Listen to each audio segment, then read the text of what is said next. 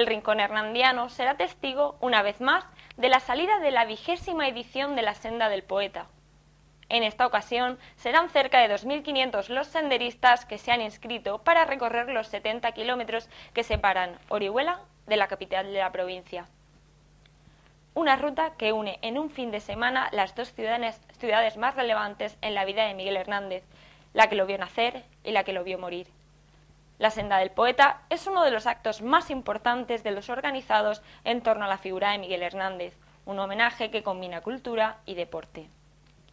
La primera de las etapas de esta popular senda saldrá el viernes del Arco de Santo Domingo y discurrirá por las localidades de Redobán, Callosa, Cox, Granja de Rocamora y Albatera, con un total de 20 kilómetros.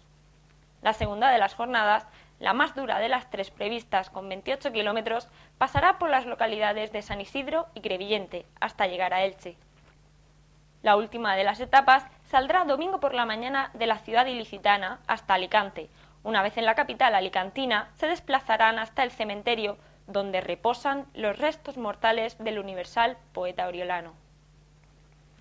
Durante todo el fin de semana se espera la participación de institutos y otros centros de educación, además en esta vigésima edición, la Federación Valenciana de Deportes de Montaña y Escalada tendrá honor de ostentar el cargo de senderista del año 2016, sustituyendo así al oriolano José Esteban Lorente.